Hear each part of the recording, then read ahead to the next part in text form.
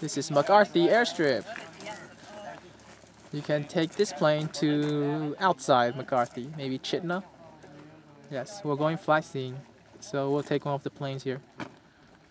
In the very far, very far away, you can see some ice. We believe that's a glacier. Yeah, I guess that's a glacier because it looks a bit blue. Yes, 这应该是三十天以来听说了，三十天以来第一天晴天，所以只能说，不知道是我们运气太好，还是不知道，反正我运气很好。这就是阿拉斯加，虽然不懂为什么有人会在这里盖矿场，但是就是有人在这里盖矿场。